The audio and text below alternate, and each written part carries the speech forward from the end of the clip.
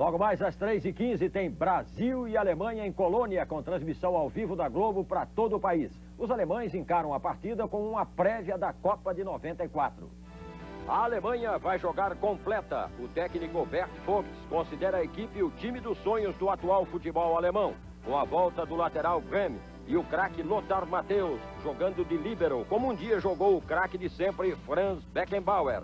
A última vitória da Alemanha sobre o Brasil foi em 86. Ao contrário dos alemães, a seleção brasileira estará desfalcada de cinco titulares, entre eles Bebeto e Romário. A novidade é Paulo Sérgio, ídolo do Bayer Leverkusen e vice-artilheiro alemão com 11 gols. A temperatura em Colônia é de 4 graus e Jorginho, outro ídolo na Alemanha, fala em alemão fluente que o Brasil vence. Brasil wird das Spiel. Para o técnico Parreira, ao contrário, a Alemanha é a favorita. Sabemos que os alemães vivem um momento melhor. Talvez até tenham um ligeiro, um ligeiro favoritismo em função dessas dificuldades. Mas eu acho que o Brasil pode fazer uma grande partida e tem condições de surpreender os alemães dentro de casa. Bom, enquanto o Brasil entra em campo hoje, craques de todas as bandeiras mostrando o melhor.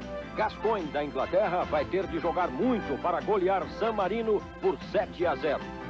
Pode não valer nada o esforço se a Holanda de Rijkaard empatar com a Polônia. No grupo 1, a Itália só tem de empatar com Portugal para classificar. Ao time de Paulo Futre, só a vitória interessa. No mesmo grupo, a Suíça se classifica vencendo a Estônia por 2 a 0.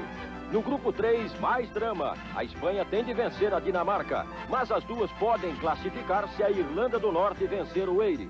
O grupo 4 é o mais embolado. A Bélgica joga pelo empate com os tchecos.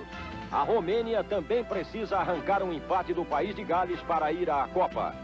No grupo 6, a França, que perdeu a chance de se classificar na derrota para Israel, joga mais uma vez pelo empate contra a Bulgária. Na repescagem, Argentina e Austrália é outro tudo ou nada.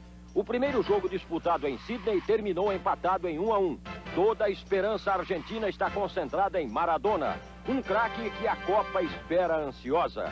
A Maradona e a todos os craques a melhor sorte possível nesta super quarta do futebol. Que eles façam o melhor. A bola e as galeras do mundo inteiro agradecem. Uma boa